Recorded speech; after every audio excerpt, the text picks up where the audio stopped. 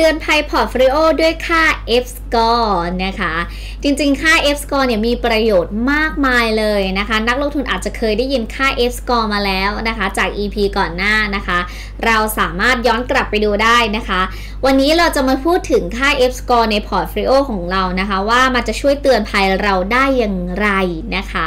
ไม่รีรอเลยนะคะ เดี๋ยวเราเข้าไปดูที่ตัวโปรแกรมกันเลยค่ะ มาที่ตัวโปรแกรมของเรานะคะ เราก็จะใช้ตัวโปรแกรม eFin Trade Plus เช่นเดิมเลย ในการวิเคราะห์ portfolio ของเรานะคะ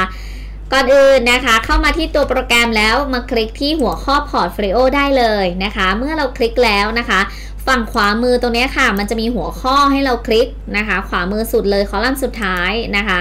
จะมีหัวข้อให้เราคลิกเปลี่ยนเป็นหัวข้ออื่นๆเรื่อยๆนะคะ ให้เราคลิกมาที่หัวข้อ F score ค่ะ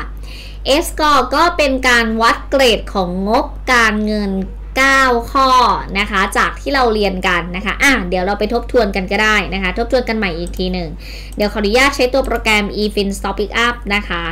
ขออนุญาตขยายฟอนต์นิดนึงนะ นักลงทุนจะได้มองเห็นชัดๆ อะค่า score นะคะ ยกตัวอย่างหุ้น DDD นะคะ DDD อ่า ดูดีดีนะคะ ดูเดดีมนะคะ โอเคนะคะ ก็ตอนนี้นะคะค่า F score จะมีทั้งหมด 9 ค่าอย่างที่นักลงทุนเห็นอยู่นะคะ ตอนนี้ค่ะ total ก็คือเกรดทั้งหมดที่ DDD ทำได้เนี่ยก็คือ 5 แต้มจาก 9 นะคะ 5 แต้มตัดเกรดเป็น C บวกค่ะ ถ้าสมมติว่าได้ 4 แต้มนี่ก็คือเกรด C ได้ 3 แต้มก็ด็อกบวกนะคะ ได้ 2 แต้มก็ได้ด็อกส่วนถ้าได้ 1 แต้มก็เกรด F นะคะ เพราะฉะนั้นนะคะ หุ้นที่ดีควรมีค่า F score 5 ขึ้นไปทำไมถึงต้องเป็น 5 ถ้าได้ 5 แสดงว่าบริษัทคุณอะทำอะไรได้ค่อนข้างโอเค ถือว่าเกินครึ่งอะแต่ถ้าบริษัทไหนนะคะได้ 4 ลงมา ก็คือได้เกรด C ธรรมดาเนี่ยนะ C 3 2 1นะคะ C ด็อกบวกด็อกแล้วก็เกรด F เนี่ยนะคะ แสดงว่าบริษัทเราทำอะไรไม่ได้เกินครึ่งเลยนะ ทำอะไรไม่ได้บ้างนะคะ มีตั้งแต่ ROA มากกว่า 0 นะคะ ROA มากกว่า 0 ก็คือบริษัทเราขายของได้นะคะ อันนี้มันจะมี detail บอกอยู่สินทรัพย์ของเนี่ยสามารถสร้างกำไรได้นนนี่นั่นนะคะ ก็คือบริษัทขายของได้สร้างกำไรได้นะคะ ขายของได้ ส่วนข้อ2นะคะเป็นคุณภาพของข้อ 1 ก็คือคุณขายของได้ไม่พอนะ คุณต้องขายของได้มากขึ้นด้วยนะ ทำกำไรได้มากขึ้น บางบริษัทอาจจะขายของได้ แต่อาจจะขายของได้เท่าเดิมก็ได้ แต่ข้อ 2 บอกว่าคุณขายของได้มากขึ้นนะ แสดงว่าผ่าน ปรากฏว่านะคะดูเดดิมนะพูดผิดไม่เอ่ยดูเดดิมโอเคพูดถูกแล้วนะคะ ดูเดดิมนะคะ หรือดีดีของเราเนี่ยขายของได้เฉยๆแต่ขายของได้อาจจะเท่าเดิมหรือน้อยลงก็ได้แต่มันไม่ได้เพิ่มขึ้นนะนะคะ ส่วนข้อ 3 CFO มากกว่า 0 CFO มากกว่า 0 ก็เป็นการนะคะดูเงินสดนะคะมีเงินสดไหมมีสภาพคล่องไหมเป็นการมองสภาพคล่องนะคะ อย่างเช่นเราขายของได้เนี่ยลูกค้าเอาของไปใช้จนเหนื่อยแล้วแต่ขอจ่ายเงินคุณสิ้นเดือนนะส่วนมากจะเป็นอย่างนั้นเนาะอย่างเช่นเเขาเอาของไปแล้วอะขายไปแล้วไปของไปใช้แล้วขอผ่อนส่งแล้วกันนะคะ ของไปใช้แล้ว ในทางบัญชีแล้วก็บันทึกว่าขายของได้นะ แต่ปรากฏว่าเงินน่ะขอจ่ายเราสิ้นเดือนแสดงว่าเราขายของได้แต่เราได้เป็นลูกหนี้มาแทน เพราะเขาไม่ได้จ่ายเงินเราเลย เขาขอจ่ายเราสิ้นเดือน เพราะฉะนั้นข้อ3เนี่ยเป็นการบอกถึงสภาพคล่องในรูปของเงินสดของบริษัทนะคะ ว่ามีเงินสดไหมนะคะ ส่วนข้อ4นะคะ accrual accrual เป็นการบอกว่า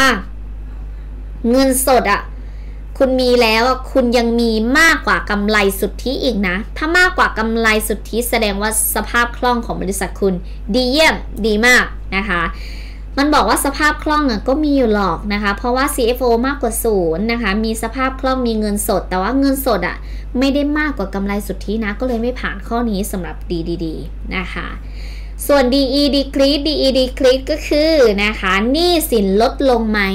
ถ้าบริษัทไหนหนี้สินลดลงได้นะคะ ได้ไปอีกหนึ่งแต้มผ่านเกณฑ์ติ้งหน่องเป็นสีเขียวนะคะ แต่ถ้าบริษัทไหนหนี้สินเพิ่มขึ้นนะคะทำให้มันลดลงไม่ได้อะนะคะ ก็จะเป็นสีแดงไป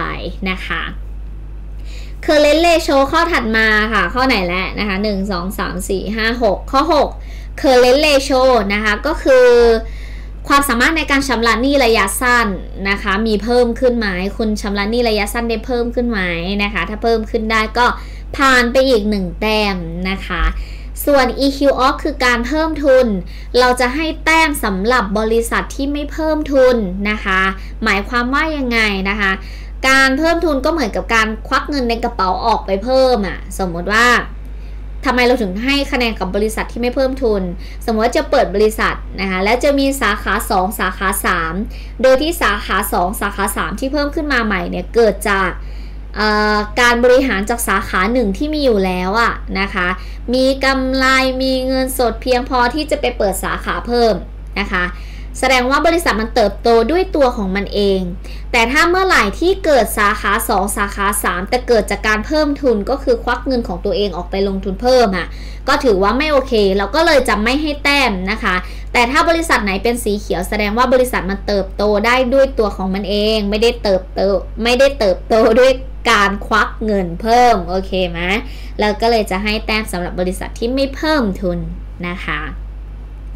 ถัดมาค่ะ GPM นะคะ GPM ตรงนี้ก็คือ God Profit Margin เป็นตัวย่อของ God Profit Margin นะคะ เป็นอัตรากำไรขั้นต้นนะคะ แสดงถึง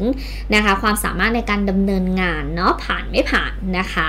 ก็ไม่ผ่านนะคะ ส่วน ATF ก็คือ Asset Turnover นะคะ ก็เป็นอัตราหมุนเวียนสินทรัพย์นะคะ ว่ามีการจัดการภายในที่ดีไหมนะคะ ถ้าเป็น N ทับ A ก็ไม่แสดงข้อมูลนะคะ เราสามารถดูหุ้นตัวอื่นได้นะคะ ที่เราสนใจอ่าอย่างเช่นบตทเห็นไหมได้เกรด 6 ได้เกรด B นะคะ ถ้าได้ 7 นี่ก็ B บวก ถ้าได้ 8 ก็ อะไรอะ A ถ้าได้9ก็ A บวกนะคะอ่าอันนี้ก็รองบการเงินออกเขาก็จะอัปเดตทีหนึ่งเพราะฉะนั้นช่วงที่งบออกนะคะ เราควรจะมาดูค่า F score ตรงนี้ใหม่ว่าเปลี่ยนแปลงเพิ่มขึ้นหรือลดลงไหมนะคะ ทีนี้ค่ะมันก็จะมาอยู่ในตัว portfolio ของเราด้วยในสัดส่วนที่เขียนว่า portfolio อย่างที่เจียวบอกไปนะคะ ฝั่งขวามือนะคะ เอาไว้บริหารพอร์ตค่ะ สังเกตว่าพอร์ตเจียวอะ รวมๆแล้ว Financial Grade จะอยู่ในเกรด A นะคะ เพราะว่าค่อนข้างที่จะเลือกหุ้นถูกตัว มันจะเป็นการบอกว่าเราเนี่ยเลือกหุ้นได้ถูกตัวไหม ถ้าบังเอิญว่าพอร์ตเราเนี่ยถือหุ้นหลายตัวเหมือนเจียวตอนเนี้ยสมมติเรามีหุ้นในพอร์ตหลายตัวนะคะ แต่ละตัวมีเกรด F บ้าง เกรด dog บ้างอะไรอย่างเงี้ย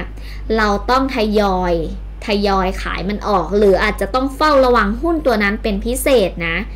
ยิ่งถ้าเกรดไม่ดีสมมติเกรด F เนี่ย แล้วเราดันถือเยอะถือว่าพอร์ตเราอันตรายแล้วเวลามันลงอย่างเงี้ยมันลงหนักนะ ถ้างบมันไม่ดีอะถือว่าเราเป็นคนเลือกแต่หุ้นเน่าเข้าพอร์ตนะคะ แสดงว่า ผลกระทบนะคะในหุ้นตัวนั้นน่ะจะมีสูงนะคะ หรือถ้าเราเลือกหุ้นโดยเกรดไม่ดีเนี่ยอาจจะเหมาะสำหรับการเก็งกำไรระยะสั้นก็ได้ คุณอย่าซื้อแล้วทิ้งลืมเด็ดขาด เพราะว่าลายเกรดมันไม่ดีนะคะ ถ้าเกรดอย่างที่บอกถ้าต่ำกว่า 4 นะ 4อะถ้าต่ำกว่า 5 เนาะ 4 3 2 1แสดงว่าบริษัทเราทำอะไรไม่ได้เกินครึ่ง สมมุติเราทำได้แค่ 4 ข้อ แสดงว่าอีก 5 ข้อเราทำไม่ได้นะ ขายของก็ไม่ได้ เงินสดก็ไม่มีหนี้สินก็เยอะชำระหนี้ระยะสั้นก็ไม่ได้ เห็นไหมขนาดนี้แค่ไล่มา4ข้อเองนะ นะคะ เพราะฉะนั้นเราต้องประมวลใหม่นะคะ ใช้ค่า F score เนี่ยในการเตือนภัยในพอร์ตของเราว่า พอร์ตของเราตอนนี้มีเกรด F มีเกรดค่า F score รวมๆ แล้วเท่าไหร่เขาจะประมวลผลสรุปให้ด้านล่างตรงนี้นะคะ เหมือนของเจียวมีทั้งเกรด A บวก B C บวก B อะไรอย่างเงี้ยนะคะ ต่ำสุดของเจียวคือ C บวกนะคะรวมๆแล้วเกรด financial grade ของพอร์ตเจลอยู่ที่เกรด A ก็ถือว่าเป็นคนที่เลือกหุ้นได้ดีมากนะคะ เดี๋ยวเราไปดูรูปพอร์ต อันนี้เป็นพอร์ตหนึ่งนะคะ เป็นพอร์ต demo ของเราเช่นเดียวกันนะคะ เราจะเห็นว่าเห็นไหมมีติด F ด้วยนะ ค่า F score มีติด F ด้วยนะคะ มี D doc ด้วย B B bird ด้วย B บวกนะคะ แล้วก็มีเกรด A ด้วยนะคะ ถือว่าเวทเวทแล้วอะงบการเงินเกรดอยู่ในช่วงเกรด C นะคะ เกรด C ก็ถือว่าต่ำถูกไหม ถ้า C บวกถือว่าได้ 5 ขึ้นไป แต่ถ้าได้เกรด C เนี่ย ถือว่า financial grade คุณอยู่ในโซน 4 อะ ค่า 4 3 2 1 อะ อยู่ในเกรดนั้นอยู่ในโซนต่ำแสดงว่าการเลือกหุ้นในพอร์ตของเราเนี่ย ไม่ดีนะนะคะไม่ดี มันบ่งบอกว่าคุณอะเลือกหุ้น เลือกแต่หุ้นเน่ามานะ เลือกแต่หุ้นที่แย่ๆมานะ เลือกแต่หุ้นที่ไม่ดีมานะ นะคะ เพราะฉะนั้นเราลองเปลี่ยนแผนใหม่ไหม เริ่มใหม่ เริ่มจากการใช้นะคะ ก่อนที่จะเลือกหุ้นนะคะ เลือกหุ้นให้ถูกตัวโดยใช้ค่า F score วางไว้ก่อน อย่างน้อยเราก็เลือกหุ้นที่พื้นฐานดี งบการเงินเขาดี งบการเงินเขาแข็งแกร่งนั่นเองนะคะอะก็อย่าลืมนะคะใช้ค่า F score ของเรานะคะ ประโยชน์เหลือหลายมากเลยนะคะ ทั้งการแจ้งเตือน portfolio รวมถึงเป็นเกณฑ์เลือกหุ้นให้ถูกตัวด้วยนะคะ สามารถปรับประยุกต์ใช้ได้นะสำหรับค่า F score นะคะ หวังว่าจะเป็นประโยชน์ต่อนักลงทุนที่ยังไม่รู้ว่าจะใช้เกณฑ์อะไรในการเลือกหุ้น และไม่รู้ว่าจะใช้ F score ในการเตือนพอร์ตและหรือบริหารพอร์ตเรายังไงนะคะ หวังว่าจะมีประโยชน์มากๆเลยสำหรับวันนี้นะคะเทปต่อไปเราจะนำเสนอเรื่องอะไรอย่าลืมติดตามรับชมนะคะสำหรับวันนี้ขอบคุณมากเลยนะคะ สวัสดีค่ะ